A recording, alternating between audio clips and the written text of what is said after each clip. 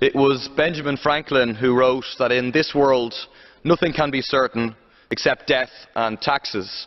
If he was writing today, he'd have to add the words, unless you're Apple, unless you're Google, unless you're Facebook, because the figures are stark. Apple sales international profits of 17 billion euros, taxes of 8 million euros. That's a rate of 0.05%. Google Ireland Limited, profits of 9 billion euros, taxes of 22.2 million, a rate of one quarter of 1%. Facebook Ireland, profits of 1 billion euros, taxes of 3.2 million, a rate of one third of 1%. How do they get away with it? They all use the tax scam known as the double Irish, with corporations incorporated in Ireland but registered for tax in Bermuda.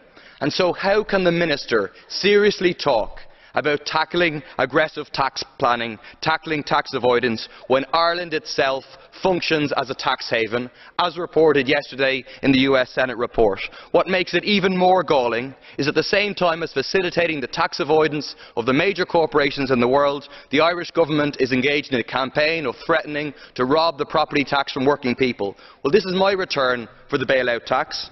I won't be registering, together with hundreds of thousands of other people who will be saying, let the rich pay their taxes, working people have paid enough. Thank you.